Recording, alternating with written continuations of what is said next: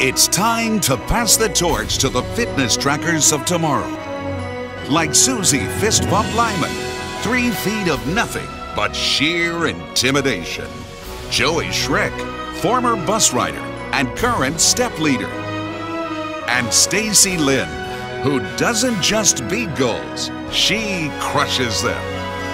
Beat yesterday with VivoFit Junior for kids from Garmin.